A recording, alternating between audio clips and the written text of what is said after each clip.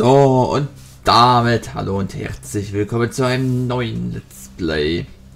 Diesmal, ja, man sieht es wohl ganz eindeutig, Mass Effect. Warum gilt das im Menü? Äh, ja, ich habe ja den Teil 2 gespielt. Ich war so extrem begeistert von dem Spiel. Habe ich mir auf Origin einfach mal alle drei äh, beiden Teile noch gekauft. Äh, ich werde das jetzt Mass Effect 1 durchspielen, danach Mass Effect 3 und wenn Mass Effect 4 rauskommt, Mass Effect 4 spielen. Ja. Willkommen in der Datenbank des Allianz-Militärs. Geheime Informationen angefordert. Genau, wir verbinden uns mal mit der Datenbank. Ich weiß, ich habe keine Ahnung, das ist auch blind quasi. Sichere Verbindung wird aufgebaut. Sichere Verbindung bestätigt. Ja, vielleicht werden wir dann ja ein bisschen ähm, die Geschichte von Mass Effect 2 besser verstehen, wenn wir Mass Effect 1 haben. Aufgrund ihres geheimen 7-Status sind die ID-Daten nicht vollständig. Bitte bestätigen Sie Ihre ID gemäß der untenstehenden Aufzeichnung oder registrieren Sie sich manuell. Ja, äh, John Shepard, ne? Sie sich ein, um Zugang zu Ihrem Profil zu erhalten. Wir wollen Shepard bleiben.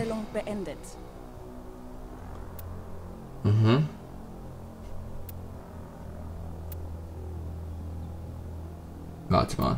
Bitte loggen Sie sich ein, um Zugang zu Ihrem Profil zu erhalten. Individuell männliche Charakter. Bitte loggen Sie sich ein, um Zugang zu Ihrem Profil zu erhalten. Der Name ist ja wichtig, aber die Klasse sollte bitte anders sein. Mein Schwang ist denn das am Haken? 10 Frames, sagt er, habe ich hier. Fehlerhafte Dateien entdeckt. Wirklich? Fehlerhafte Dateien. Bitte stellen Sie Ihr Profil wieder her. Zeit vor dem Dienst bestätigen. Psychologisches Profil bestätigen. Zeit vor dem Dienst bestätigen. Was waren wir denn? Raumfahrer. Ihre beiden Eltern waren vom Allianz, beim Allianzmilitär. Sie verbrachten ihre Kinder, Kindheit an Bord von Schiffen und Stationen und verblieben nie lange an einem Ort. Ihre Eltern häufig versetzt wurden. Im Alter von 18 Jahren traten sie in die Fußstapfen ihrer Eltern und verpflichteten sich fürs Militär. Kolonist. Sie sind auf Mindor geboren und aufgewachsen, eine kleine Kolonie am Rand der Attika-Traverse. Als sie 16 Jahre alt waren, überfielen Sklavenhändler Mindor und töteten ihre Familie und Freunde. Sie wurden von einer Allianzpatrouille gerettet. Ein paar Jahre später verpflichten sie sich selbst zum Allianzmilitär. Von der Erde? Als Weise sind sie auf den Straßen der riesigen Erdmetropolen groß geworden. Sie konnten dem Leben im Umfeld der kleinen Kriminalität und Straßengangs entfliehen, indem sie sich mit 18 Jahren zum Allianzmilitärdienst gemeldet haben. Also irgendwie passt am besten Shepard. Äh, Raumfahrer zu Shepard. Einziger Überlebender. Während ihrer Dienstzeit wurden sie auf eine Mission geschickt, die auf schreckliche Weise scheiterte. Sie befanden sich in einer extrem lebensbedrohlichen Situation und erlitten körperliche wie seelische Qualen, an denen die meisten Menschen zerbrochen werden. Aber sie überlebten, ertrugen alles, woran andere zerbrachen. Jetzt sind nur noch sie übrig, um davon zu erzählen. Kriegsheld. Zu Beginn ihrer Karriere sahen sie sich eines Tages einer Gewalt überwältigenden feindlichen Streitkraft gegenüber. Sie setzten ihr eigenes Leben aufs Spiel, um ihre Kameraden zu retten und den Feind trotz aller Widrigkeiten zu besiegen. Ihre Tapferkeit und ihr Heldenmut brachten ihnen zahlreiche Medaillen und Anerkennung seitens der Allianzflotte. Skrupellos? Während ihrer gesamten militärischen Karriere haben sie sich immer an eine grundlegende Regel gehalten. Der Auftrag muss erledigt werden. Aber zeichnet sie gemeinhin als kalt, berechnend brutal. Sie sind bekannt für ihre rücksichtslose Effizienz, weshalb andere Soldaten sich vor ihnen in Acht nehmen. Auch wenn, keine Vers wenn Versagen keine Option ist, kommt das Militär immer zuerst zu ihnen. Ja, Kriegsheld passt am besten zu Shepard, ne, finde ich. Militärische Spezialisierung bestätigen. Ähm, warte mal, das hatten wir doch schon mal. Soldat, das war der typische Kampf. Kämpfer halt. Techniker. Ähm, ist schon gut. Glaube ich, nehme ich fast sogar. Experte Biotik. Ähm, Biotik fand ich jetzt nicht so genial. Mass Effect 2. Ich muss natürlich viel von Mass Effect 2 jetzt hier reinbringen. Filtratoren kombinieren Kampf- und Technikfähigkeit miteinander und sind spezialisiert darauf, äh, Gegner im Fernkampf zu töten. Wächter. Hm.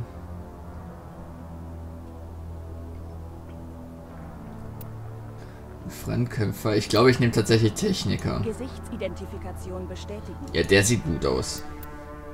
Profilwiederherstellung beendet. John Shepard. Ja, bestätigen wir. Identifikation bestätigt. Die Einstellungen sind auch richtig hier. Normal, aus. Äh, der Stufenabstieg, die Zielhilfe lasse ich mal auf normal. Kann ich die irgendwie auf leicht? Vielleicht können wir die Zielhilfe auf gering stellen. Aktiv, ja. Untertitel und Auto sprechen, ja.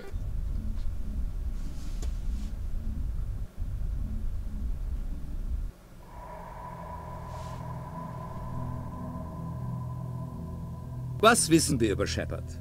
Er ist ein Raumfahrer. Hat die meiste Zeit seines Lebens auf Sternenkreuzern verbracht. Fast die ganze Familie war beim Militär. Beide seine Eltern waren bei der Flotte. Er hat sich beim skylianischen Angriff bewährt. Er hat die Bodentruppen des Feindes aufgehalten, bis Verstärkung eintraf. Ihm allein ist es zu verdanken, dass es Elysium noch gibt. Sein Mut steht außer Frage. Die Menschheit braucht Helden. Und Shepard ist dafür unsere beste Wahl. Ich stimme dafür.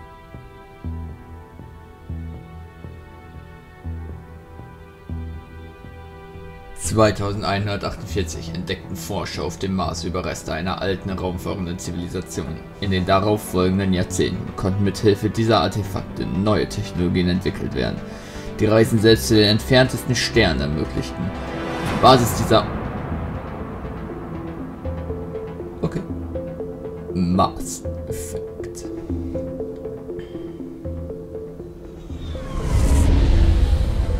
Das mit dem Stocken muss ich noch irgendwie, äh... Das Arcturus Prime Massenportal ist in Reichweite. Starte die Transmissionssequenz. Commander?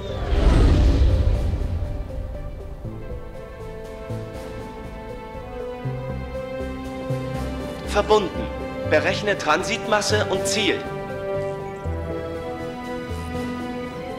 Das Massenportal ist heiß. Zugriff auf Annäherungsvektor. Alle Stationen sichern für Transit.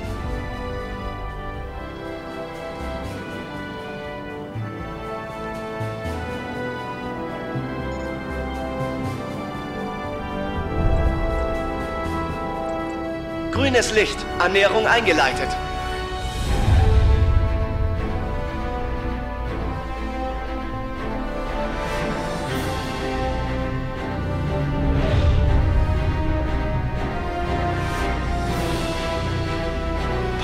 Portalkontakt in 3, 3, 2, 1.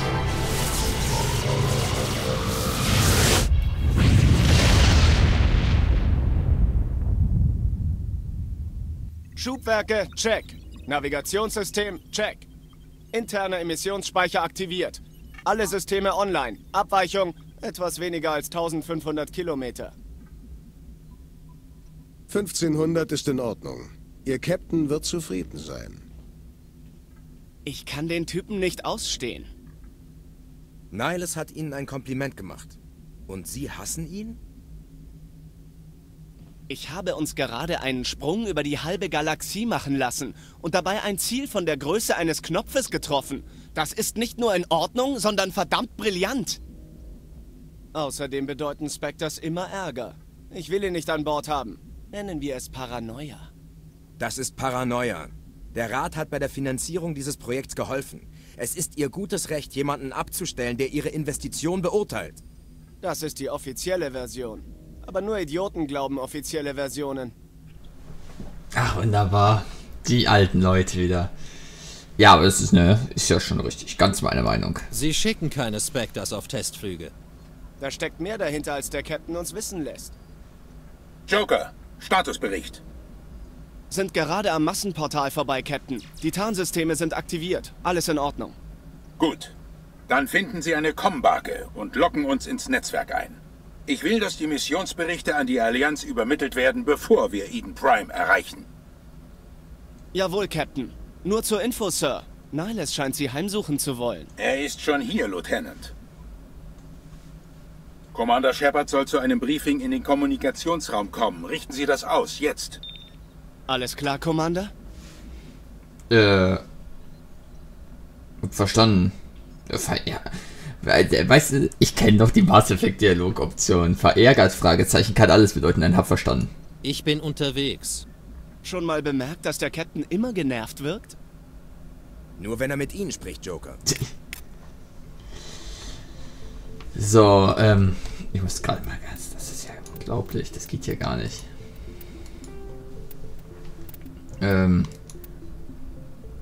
Mass Effect 1 muss eine schlechtere Grafik, denke ich mal, doch haben als äh,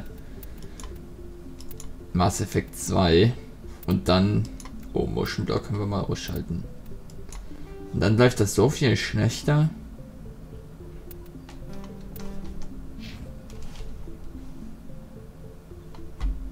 Na. 15 Frames. Irgendwas ist falsch. Ich habe ihn gerade gesehen. Marschierte vorbei, als wenn er auf einer Mission wäre. Er ist ein Spectre, die sind immer auf Mission. Und wir immer brav im Schlepptau hinterher. Immer cool bleiben, Presley, sonst kriegst du noch ein Magengeschwür. Ah ja, aber das Schiff. Wie in Mass Effect 2. Ist ja schließlich der Nachbau. Nagato Presley, hallo. Glückwunsch, Commander. Das scheint eine ruhige Aktion gewesen zu sein. Werden Sie jetzt unten den Captain treffen? Er will mich sehen. Ich bin gerade auf dem Weg, um ihm einen Statusbericht zu geben.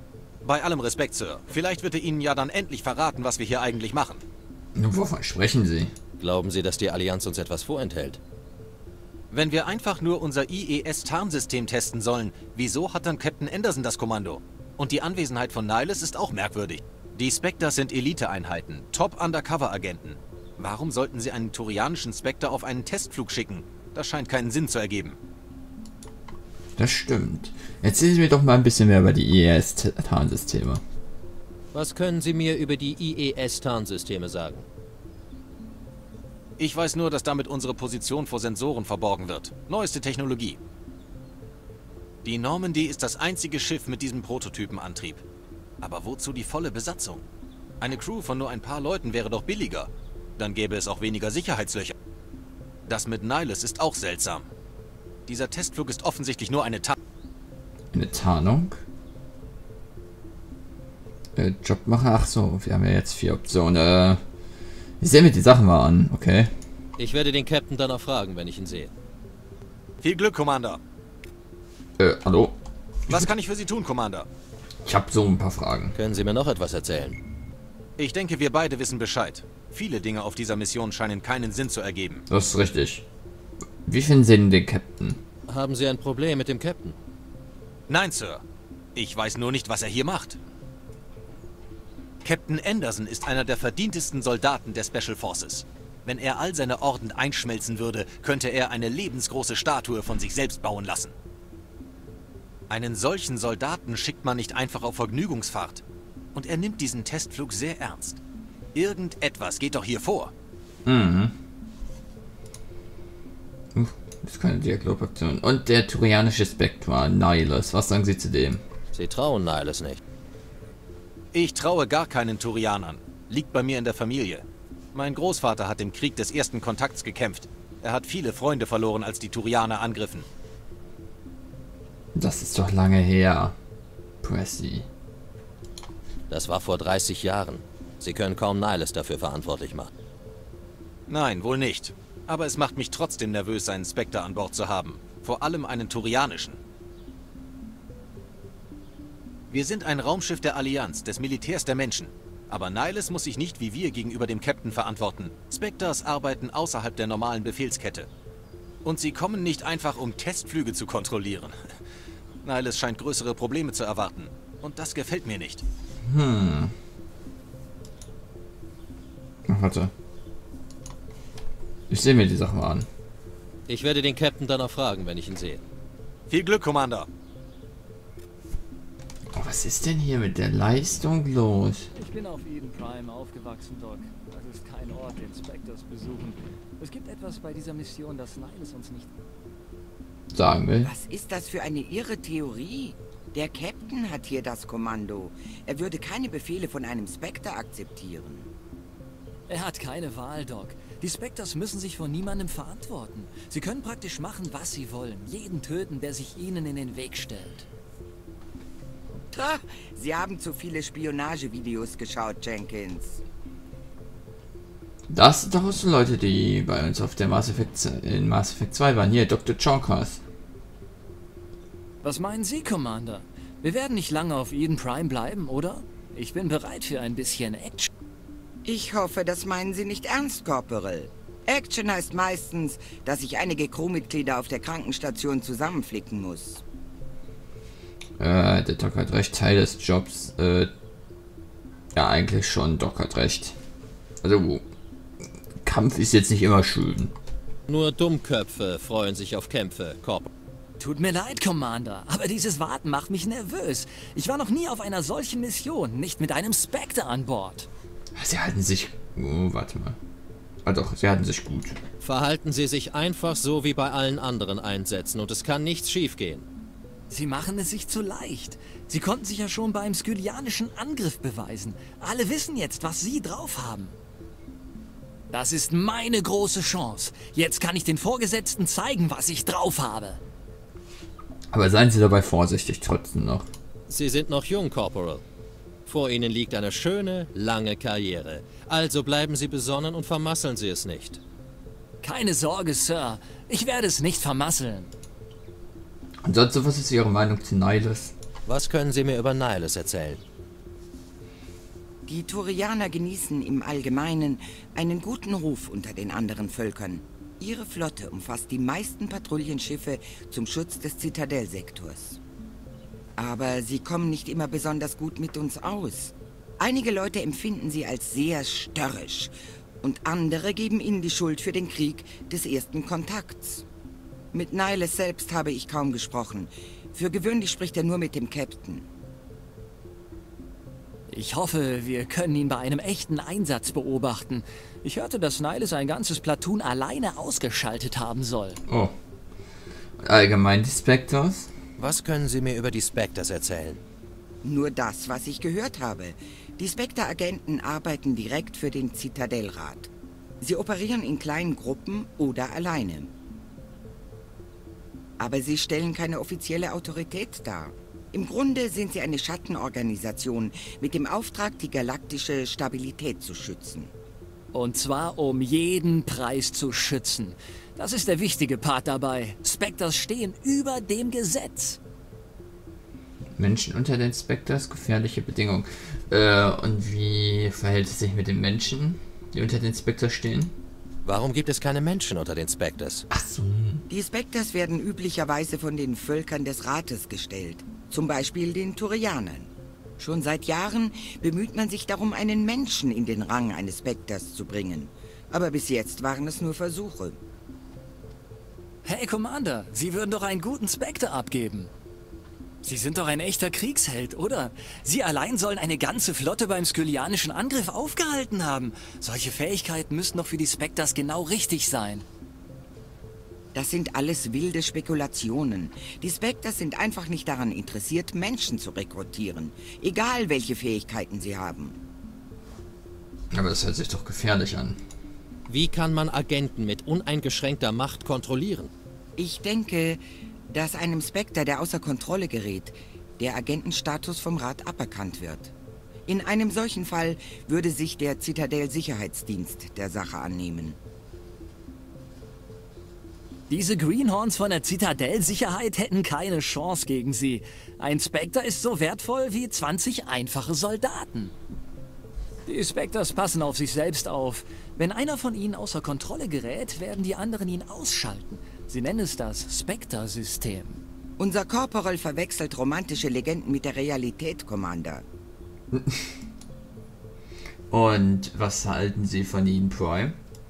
Sie stammen von Eden Prime, oder Jenkins? Wie ist es da?